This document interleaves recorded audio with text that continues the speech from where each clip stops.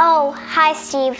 What I'm doing right now is I'm taking care of a patient um, named Rosie with a broken arm and sliced open arm and a fractured knee. She had all these injuries because she thought she could fly, so she, she jumped off of her second floor window.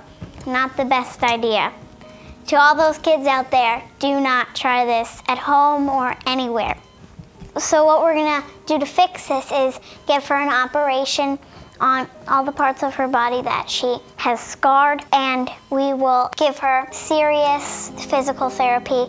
But at the end of the month, I think she'll recover nicely. And remember kids, never try to fly by jumping out of your second floor window.